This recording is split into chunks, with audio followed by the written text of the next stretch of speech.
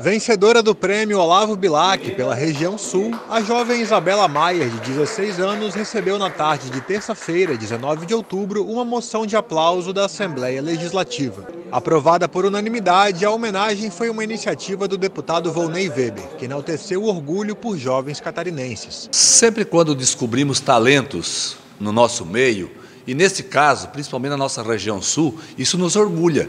Isso tem que ser lembrado, tem que ser divulgado para fazer com que nós incentivamos outras pessoas mais a participar da educação de maneira forte, é, contribuindo a, desta forma a toda a nossa sociedade. Então, a Isabela, fica aqui os nossos parabéns, o, o nosso, o nosso sentimento é, do nosso Estado de Santa Catarina de orgulho, né, por uma pessoa dedicada, determinada, que é exemplo e serve, né, é, de exemplo para a nossa sociedade. O prêmio Olavo Bilac, promovido pelo governo federal e destinado a alunos de escolas cívico-militares, teve como tema de redação a importância da cidadania para a construção de uma sociedade mais justa. Em sua redação, Isabela abordou a indisciplina e a falta de patriotismo como obstáculos a serem superados para o progresso social. A estudante, que sonha ser médica, admitiu surpresa com a repercussão do prêmio. Quando eu ganhei a redação já foi uma e apesar de que eu sabia que ia ser uma redação importante por se tratar do Ministério da Educação juntamente com o Ministério da Defesa produzindo,